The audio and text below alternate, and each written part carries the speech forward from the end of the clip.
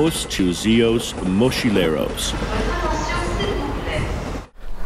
Nós vamos aproveitar que vamos passear com o nosso cachorro, Tomate, e vamos falar hoje sobre as 10 cidades medievais mais interessantes que nós conhecemos, né?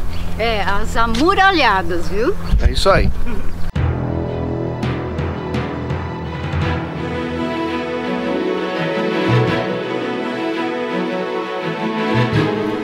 Viaja vive três vezes: quando sonha, quando vai e quando recorda.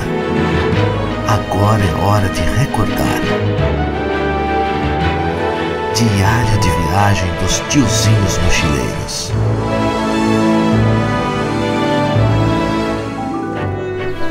Então, na época medieval, as pessoas moravam em lugares fechados, nas amuralhadas cidades ou então num castelo. Não muito diferente no dia de hoje, em busca de segurança.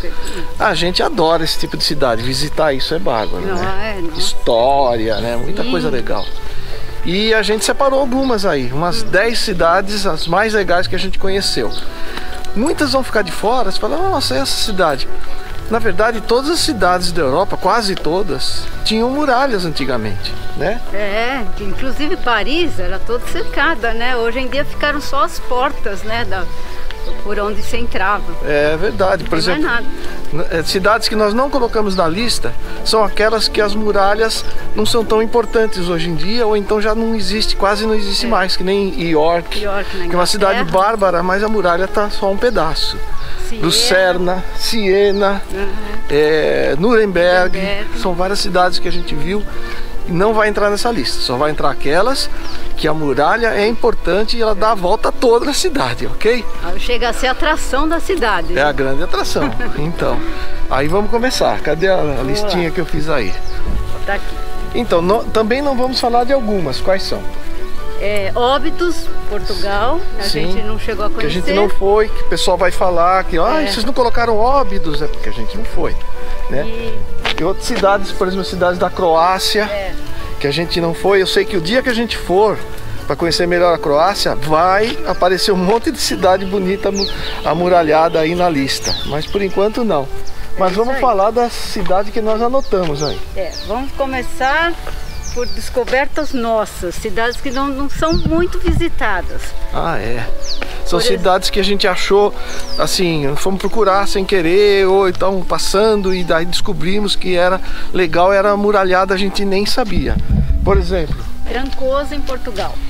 Trancoso, nós estávamos passeando de carro e resolvemos parar nessa cidade e descobrimos que ela é inteira amur- amuralhada. Inteira amuralhada, a gente não sabia. Passeamos lá dentro e seguimos viagem. Qual é a outra? Nordring, Nordinglen. Nordinglen. Essa Na daí, Alemanha. ela faz parte da Rota Romântica. E a gente fez a Rota Romântica e tal, e essa cidade também. A muralha dá a volta inteirinha na cidade.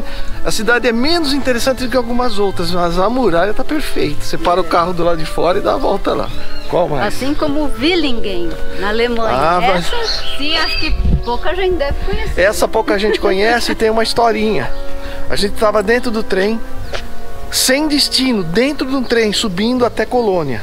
E no meio do caminho a gente achou que estava com fome. Vamos parar na primeira cidade que der? Tem uma cidade aqui chamada Willingen. A gente para, come alguma coisa, depois entra no trem de volta, É. uma hora depois e segue.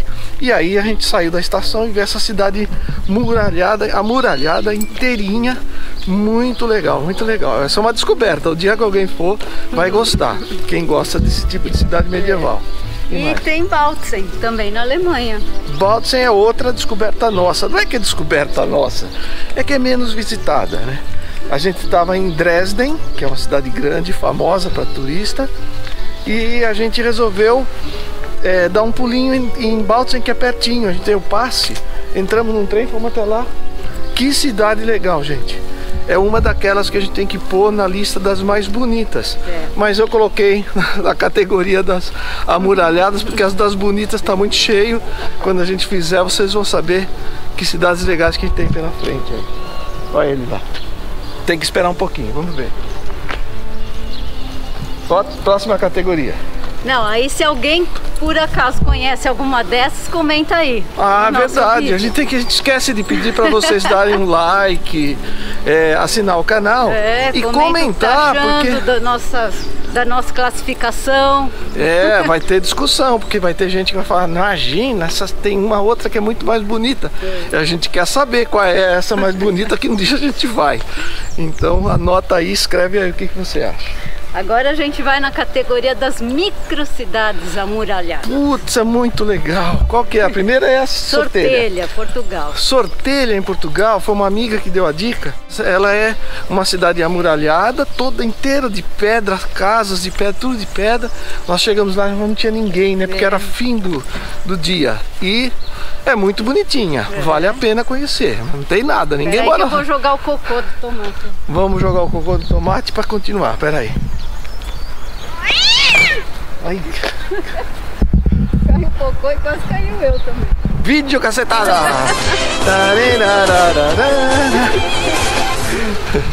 Aí tem as outras duas microcidades que eu lembro. Outra também em Portugal, Monsaraz.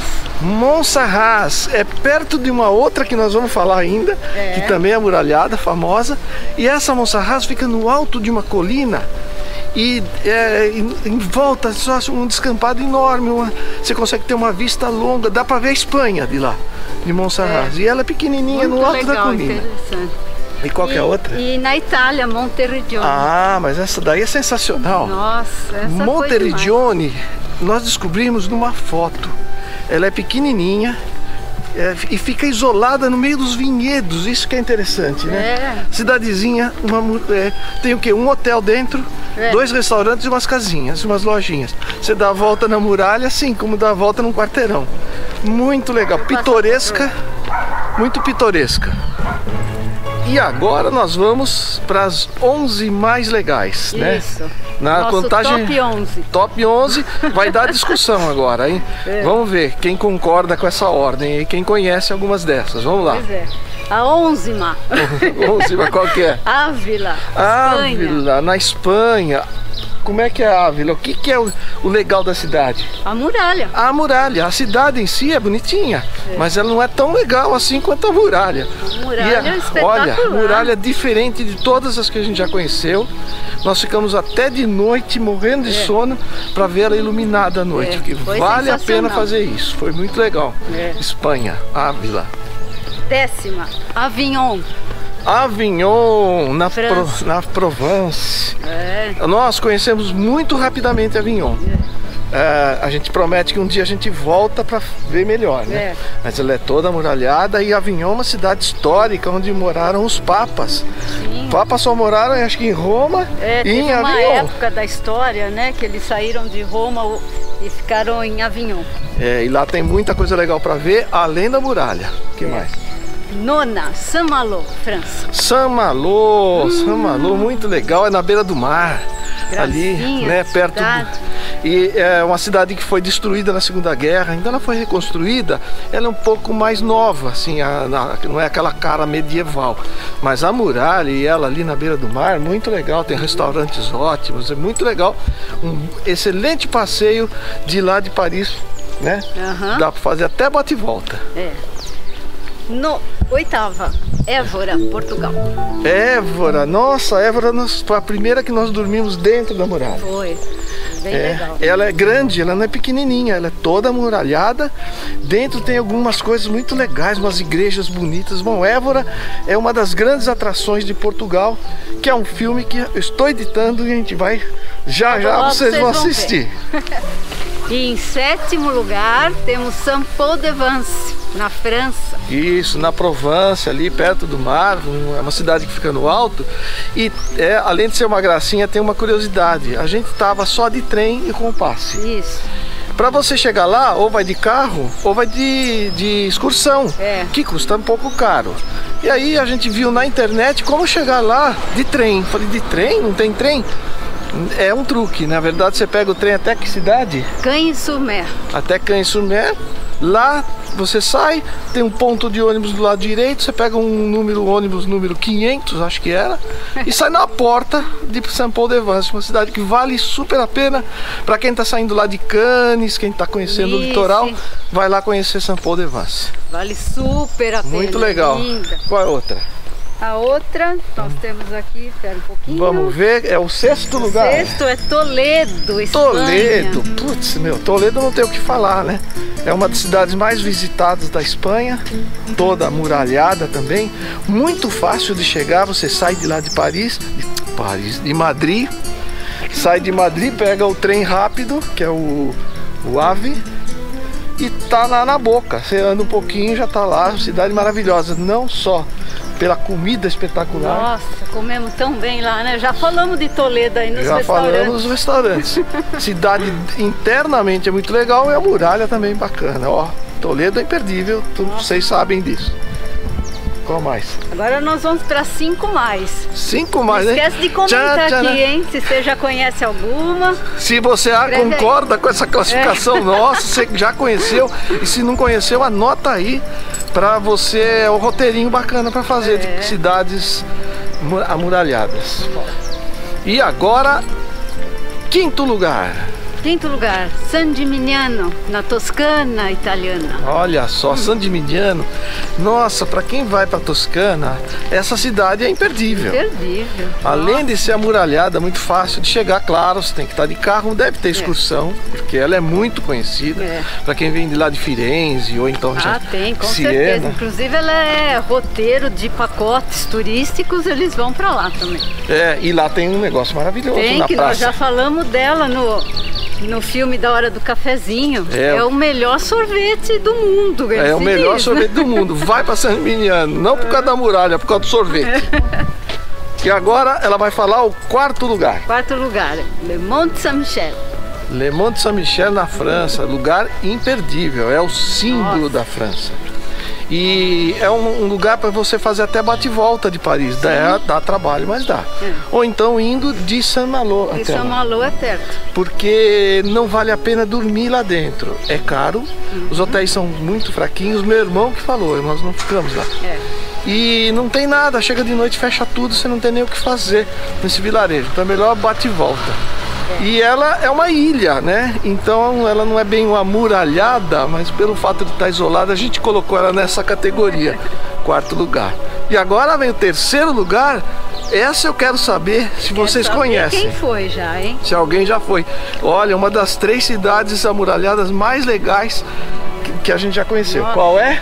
Conway, Conway. País de Gales. País de Gales, gente. Que cidade legal. Nossa. Ela é amuralhada em meia lua, porque ela, ela- o mar fica lá na frente. E no canto dela tem um castelo. Para não, como se não bastasse, você pode chegar de trem ao lado do castelo. Então é muito fácil, muito legal de visitar. Conway, País de Gales, perto de Chester, perto de Liverpool. Ok? Vamos agora esperar o carro passar, porque eu vou falar o segundo lugar.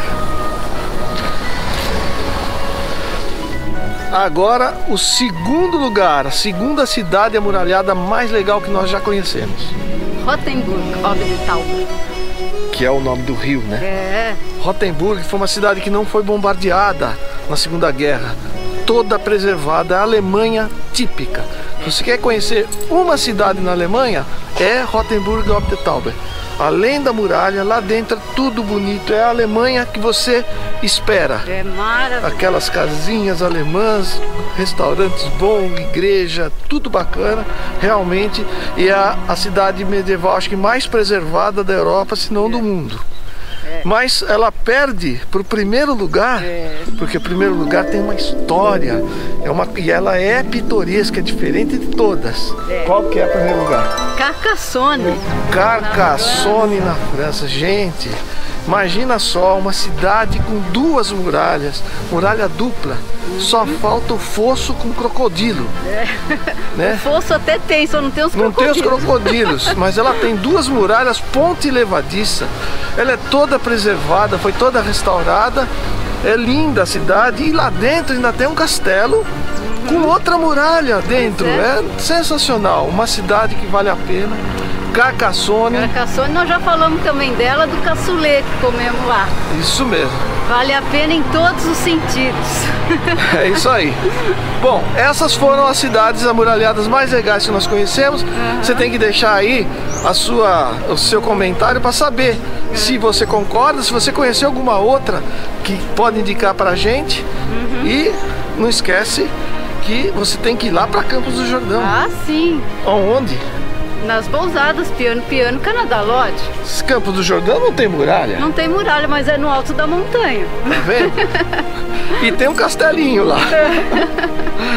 Falou, tchau. Tchau.